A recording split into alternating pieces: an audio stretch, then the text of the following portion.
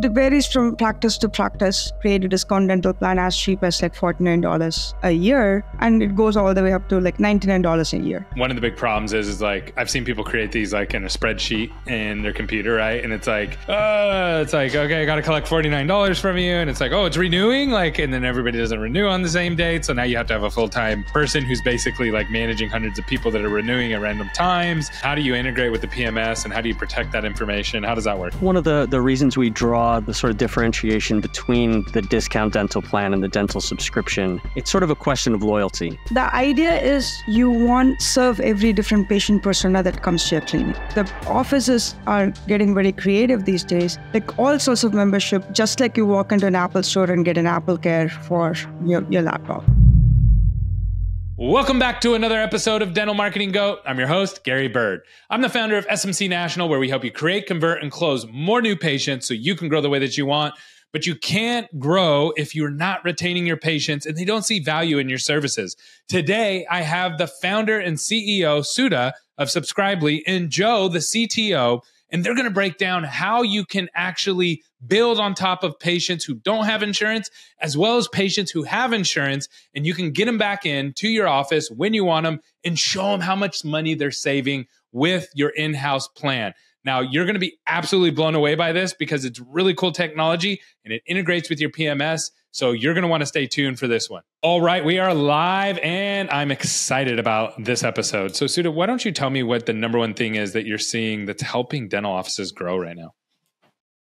Putting patient in the center, uh, like giving more options to patient for accepting more treatment, um, and then making it more affordable for them. Uh, that's what driving their revenue. Uh, because one, patient are more aware of the dental, like you know, oral, oral hygiene and overall health and all of that. So they are showing up to the practice. They're making an effort yep. to taking taking care of their oral needs, but making it more affordable and then understanding their needs and taking their needs into consideration in giving the treatment back to them is what driving the same sort of growth these days. So like how do how does how do you practically do that? Because that all sounds really good for me, right? Like I get excited and like, yeah, let's do that. But it it, it, there's like a bazillion things that you could do to do that. So, kind of how break me down how you guys view that and how you help offices with that. Um, so there are a couple of options that's like you know which industries are aware of. Like one is discount dental plan, another one is like you know dental subscription plan. Um, the difference between those two, I'll get into it right away. Uh, one, like you know, making sure dental care is a routine. Like there are about 100 million people who don't have dental insurance. So those patients typically come into dental practice like once in nine months. Mm. We all know we have to go once in six months for the cleaning. And in certain instances, it's much more than that, right? So making that more affordable, like we help them create like different mm, subscription plan based on the patient persona and the underlying needs. So if you're a healthy adult hygiene, like you know, who have to go to the dental practice like once in two months, then we create a like you know huddle plan which covers the hygiene and the recall and all of that. Then if you are a child then we create a child plan. And if you're a patient with a perio then we create a perio plan. Then the discount dental plan concept is just like a costco membership where you mm. buy into a plan which gives like discount on every other procedure. It doesn't come with the inclusions. So that basically gives them a flavor of what membership entitles and how much unlimited discount they can receive and all of this flavors, what I just discussed, gives them a very more affordable option for them to get their dental procedures done and this is like alternate to them going to dental insurance and which is a lot more expensive for them to get. And there is a waiting period and a cap. Hey got an important announcement for you. We are hosting the second annual full arch advantage event where you learn to create convert and close more full arches so your office can grow the way that you want. This is going to be in partnership with BioHorizons and this is our second year but the important part is it's going to be virtual so you don't have to fly out buy hotels travel with your team, you can just register and block off the days and watch virtually. And right now we have early bird pricing. It's never going to be cheaper than right now. I don't even have a discount code because it's so cheap. It's only $199 right now to register. And it's for your team. It's for your dentists, it's for your treatment coordinators, your dental assistants, and your marketing managers. And you're going to learn a ton of stuff to grow. Last year's event had a 74 NPS score, which is amazing. And the feedback was really, really good. So if you're looking at leveling up, we have a ton of new content, a ton of new automations and things that you can add to your practice to really grow and executing on the phones to make sure that you can grow the way that you want. So don't miss this. Go to Full Arch Advantage right now and sign up. This price will not be around for long. Yeah, all that. So so how does that how does the office um rebound from that. So like how does how does so if I'm a if I'm a patient, let's start from the patient side. So if I'm a patient, this this dental you called it a discount dental plan, right? Okay, so the discount dental plan. If I'm coming in and I already have dental insurance, can I still get a discount dental plan? So you can get a discount dental plan if you have a dental insurance, provided you have met your annual maximum cap. Right? Okay, so like it's like and so it's like insurance plus, right? And then so okay, so now I've used up all my insurance, so now I can get this discount dental plan. And then let's just talk real practically. Let's say that I need um, a crown and a filling, and um, it's going to be two thousand bucks, and that's how much it's going to be. How does the discount dental plan help me as the patient? Like, uh, what would I normally pay for that in addition to uh, or on top of my insurance? So it, it varies from practice to practice. Like, you know, there are practices who create a discount dental plan as cheap as like $49 a year. And it goes all the way up to like $99 a year. Yeah. Right. So, or a month. You could charge by the month too if you wanted to, right? Yeah, exactly. Yeah. Usually, like what we charge by the month is like, you know, when they create plan with the entitlement, when they give like with cleaning, because the plans are usually at that time is about $300 a year. So you want to charge like $25 a month so it is as good as you paying an insurance, but you get cleaning included as part of your subscription, right? Like, you know, so that's where the discount dental plan and subscription plan comes into play. But if you're a patient with insurance and if you're getting this as a secondary thing for your out of pocket expenses, usually it's a yearly plan what you opt in and then you pay like you know anywhere between 49 all the way to $99 the discounts are uncapped. Like there is no waiting period. Pretty much you can get like you know any anything that's offered will be discounted based on the UCR uh, and what discount that they set up for that. Joe, did you have a comment on that? Yeah, so I, think one of the the reasons we draw the sort of differentiation between the discount dental plan and the dental subscription, it's sort of a question of loyalty, right? You you um, you raised a good example of a, a crown and a filling, right? Someone who's looking for that, they're probably looking to get it done and get it done quickly and cheaply.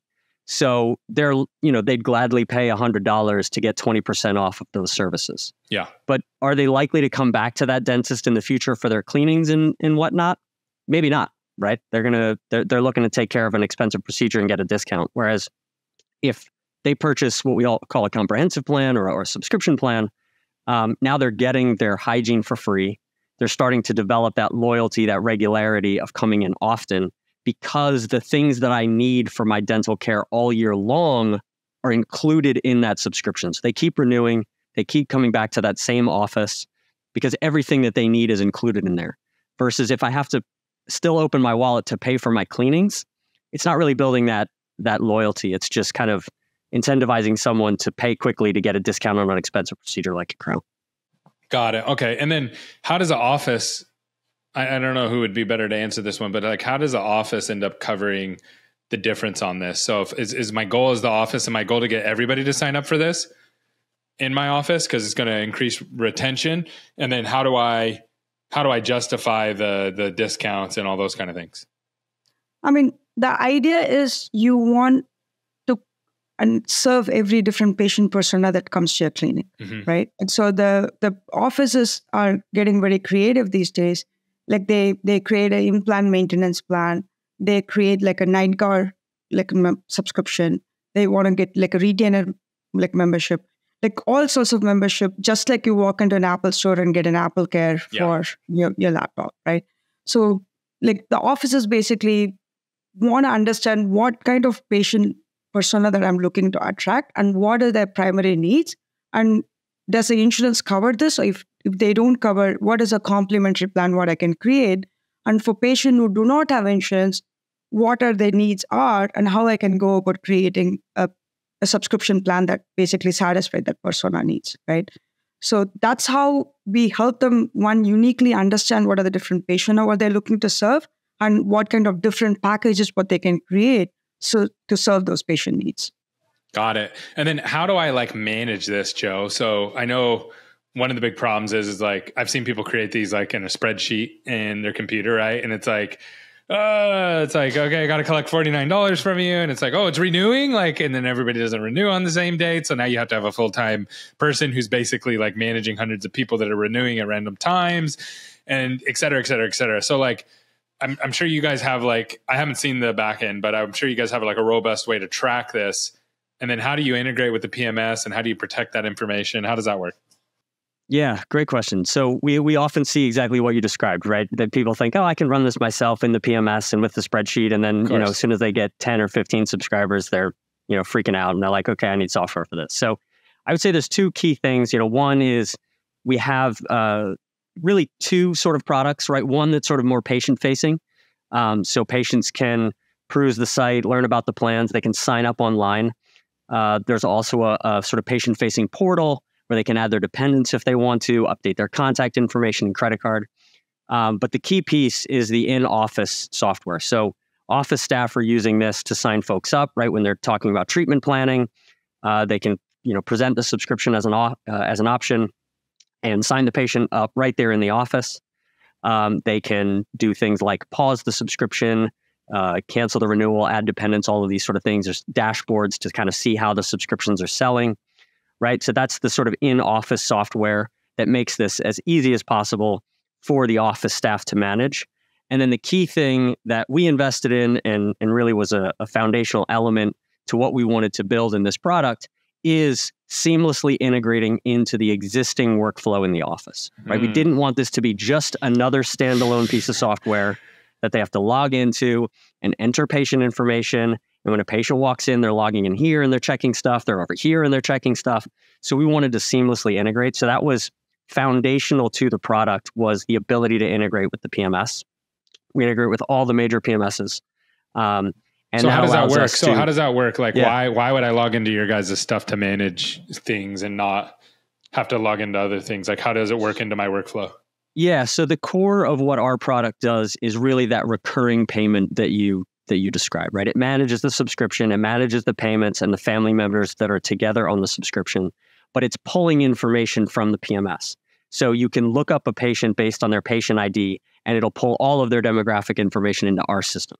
You're not in there typing everything in and asking them for their email address again. It also tracks the utilization of services in the subscription. So this is one of the key components of our offering and why we kind of made that differentiation in the beginning between discount plans and subscriptions, where subscriptions include things in, um, you know, include things for free. If you're going to include things for free, you've got to track that, right? If someone's on a periodontal plan and they've gotten their three periodontal treatments, their you know maintenance treatments, have they gotten three? Have they gotten four? Do I need to charge them for this one? Is this one still included for free? If that's not being tracked anywhere, that's a real headache, especially if you want to offer patients' location mobility. Potentially, you're a you know a growing DSO. You have multiple locations that patients can go to.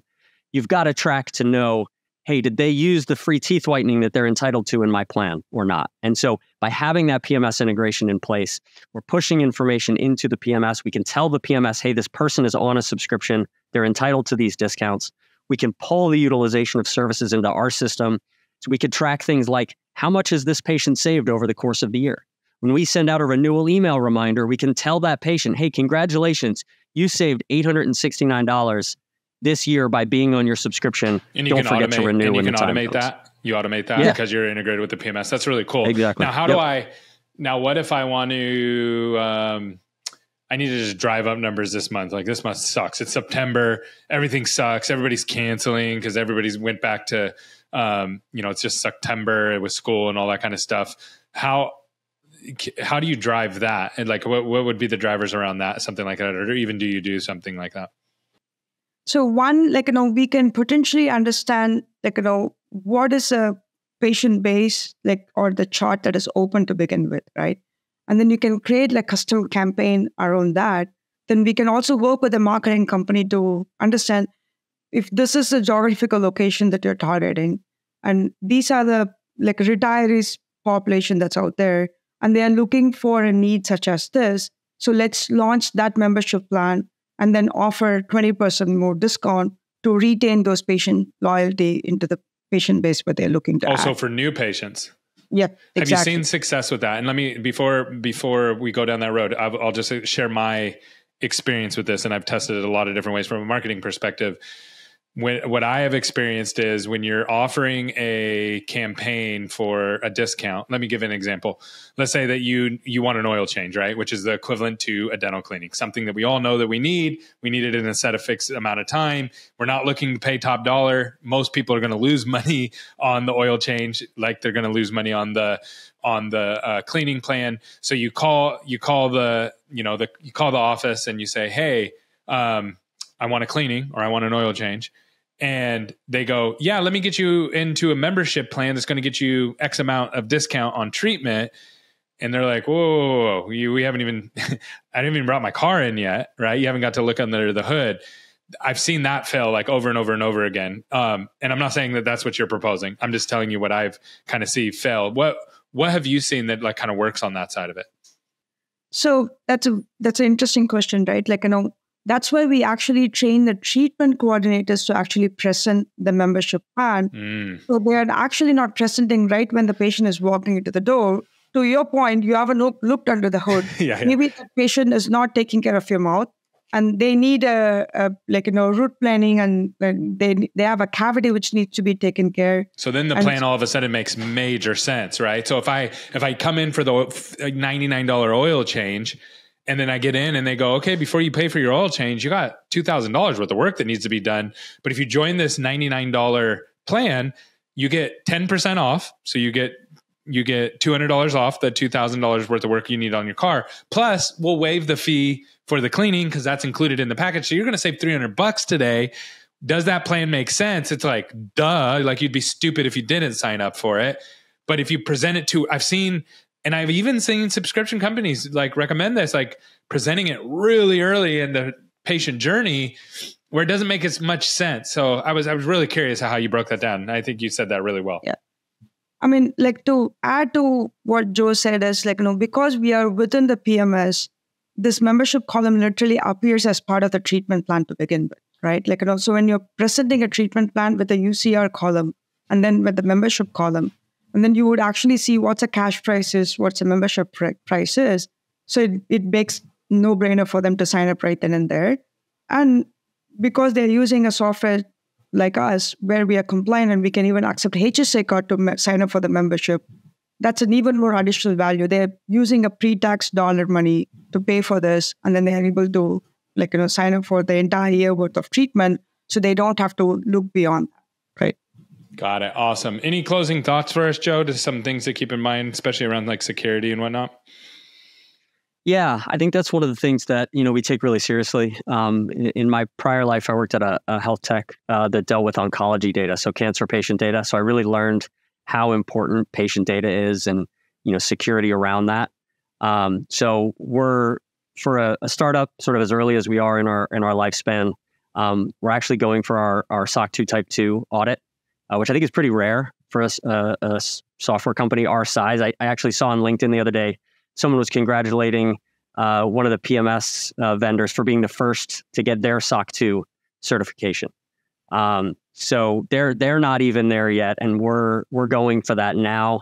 Um, one because of how important it is, and two, I think when you start early, it's actually easier to keep it going as you grow. Yeah, because it gets more complex. Right? A big company. Yeah gets scared of SOC 2 because it becomes this Herculean effort to like get 90,000 teams to all coordinate and follow, you know, policies that were never put in place. So, you know, there's software now too that can help and make it easier. So, you know, we've invested in some of that.